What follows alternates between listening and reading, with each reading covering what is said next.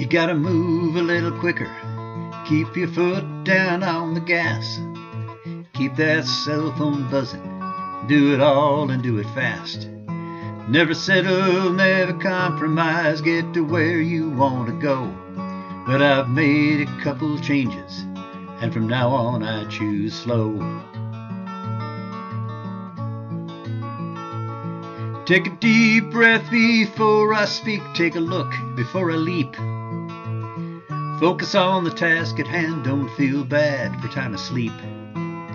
Listen to the one I'm with. Take a walk when I feel the need. I finally think I understand there's more to life than speed. Years ago I believed it. Sleep less, live more, my style.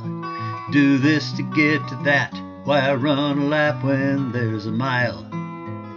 Push myself to excess, outdo the status quo.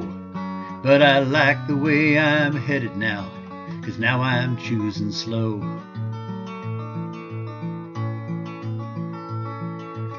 Drive the two lane roads and slow it down to let 'em pass. Sit and watch the world go by, keep time with an hourglass. Find more time for reading, there's so much I don't know. The world keeps saying hurry up, but now I'm choosing slow. It's amazing how things settle down when you simply take the time and stop racing round across that self created finish line. It's not laziness, not shutting down, just awareness how I go. I appreciate my progress since I started choosing slow.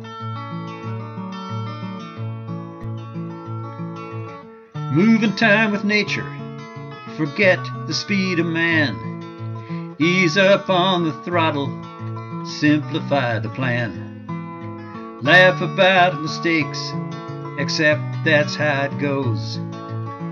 Nothing is irreparable since I shifted into slow. Don't confuse the clock with time, cause now I'm choosing slow.